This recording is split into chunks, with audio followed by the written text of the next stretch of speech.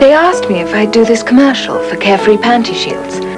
Tracy, they said, Carefree is so slim and soft. They keep you fresh. They make you feel confident. Any day. That's what they said. I said, don't be ridiculous. Do you imagine I haven't discovered the secret of freshness yet?